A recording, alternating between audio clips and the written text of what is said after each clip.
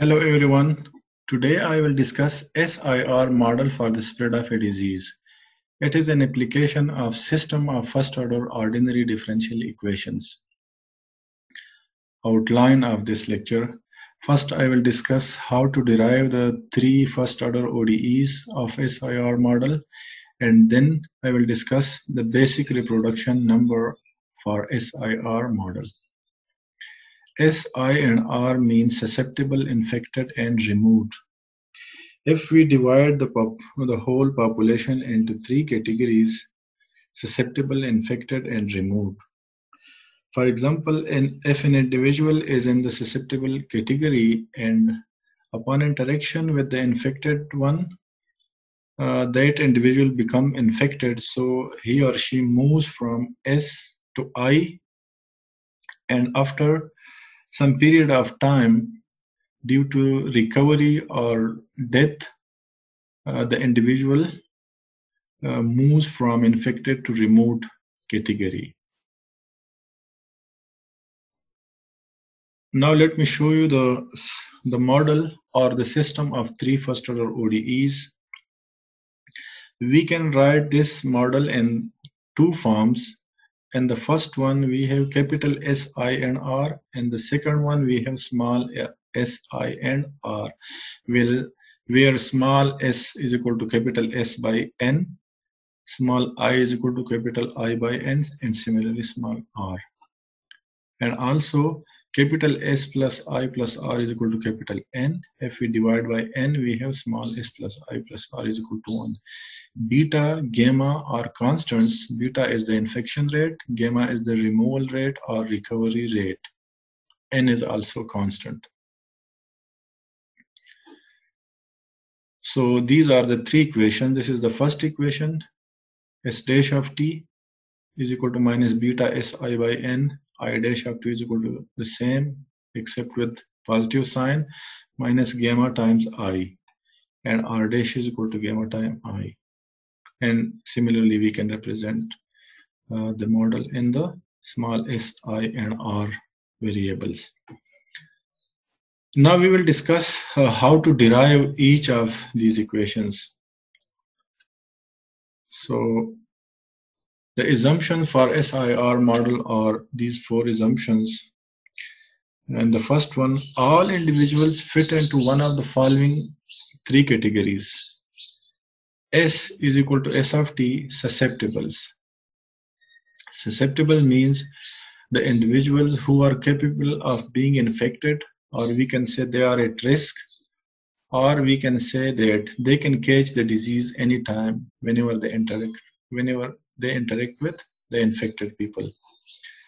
I represents infected population.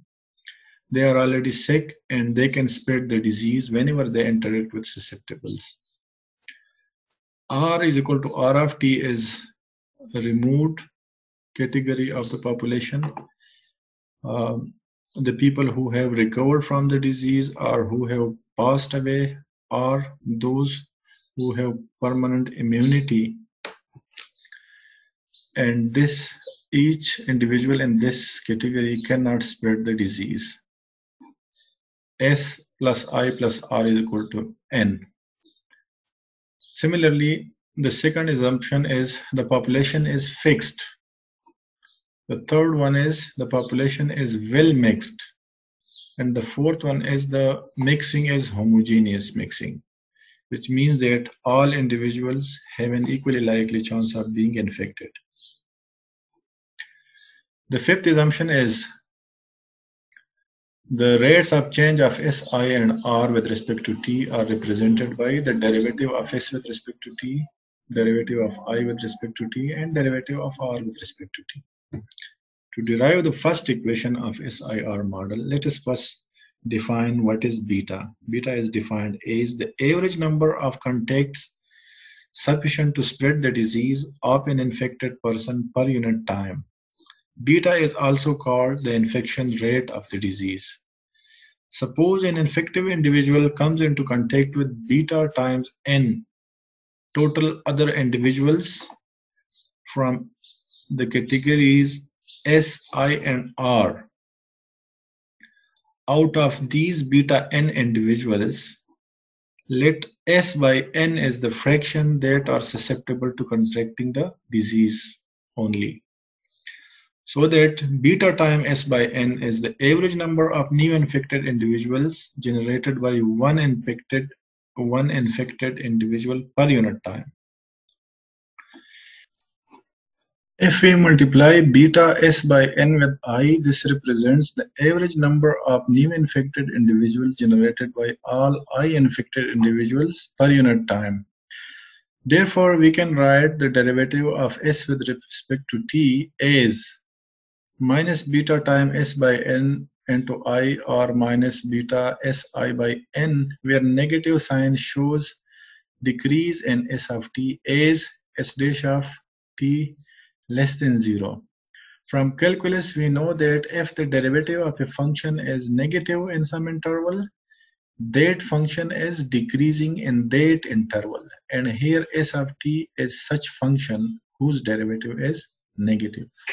So this is the derivation of first equation of SIR model.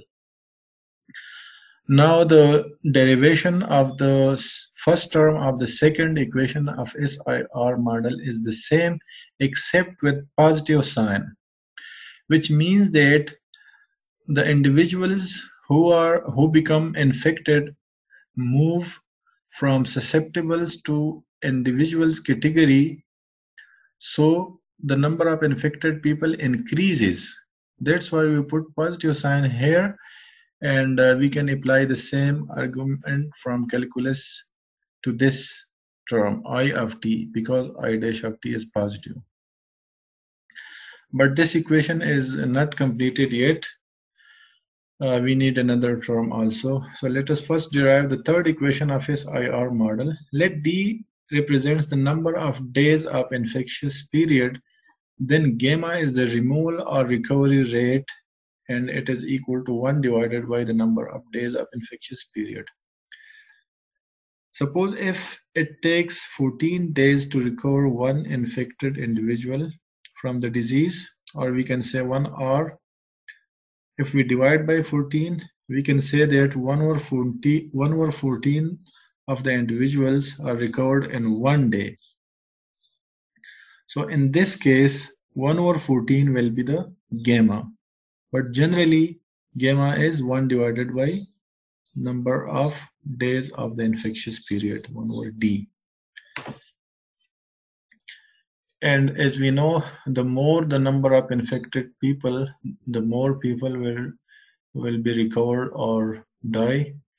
So r dash of t is directly proportional to i of t and we can write r dash is gamma i of t where gamma is the constant of proportionality so this is the third equation of SIR model. Now, a, this equation tells us that the people are moving from infected category to recovered or removed category.